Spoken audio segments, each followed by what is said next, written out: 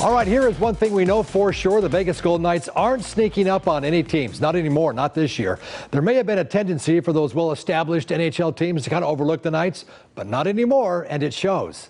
But he did what he had to do tonight. He turned away all 40 shots by the Vegas Golden Knights. The difference was their, their goalie was outstanding. How often have we heard that this year? A player ends up torching the Knights or a goalie standing on his head. There's a reason. Probably due to our reputation. A lot of times that's what's happening. It sounds like a simplified answer, but a lot of times players get up for various teams, certain teams, and we seem to be one of those teams right now. Everybody had a piece of that. They played, they picked their game up. Every team knows about the Knights now, the players' strengths, weaknesses, tendencies, and besides, the Knights got everybody's attention with last year's historic run.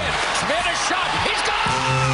I played in Washington. It was always okay. You played Pittsburgh. It was okay. It was a big rival, but that's a team that won the Stanley Cup. Or you're playing the Sharks, who had gone to the Stanley Cup. You know, you, you get a little bit more added you know jump to your game. And I think that's you know happening. And we haven't been matching some of the, the energy and some of these teams that are fighting for spots to get into the playoffs. Crazy as it sounds after one year, but the Knights are now the hunted. Every team gets up for Vegas.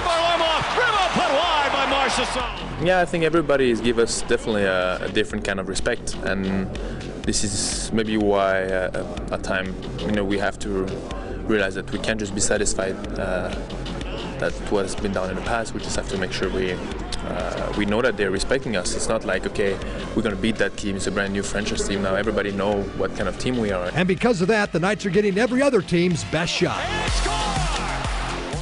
All right, now last year Vegas was fourth in the league in scoring, eighth in goals against. This year they're 14th in scoring and 10th in goals against. Now here's the good news for Vegas Golden Knights fans. There are more people watching the Knights on TV this year over last year. Viewership ratings up 116% from last year through all games on AT&T Sports Network. Now the Knights looking to close out the month with four straight home wins. It all begins tomorrow night at the Fortress when Boston rolls into Vegas. Then Winnipeg visits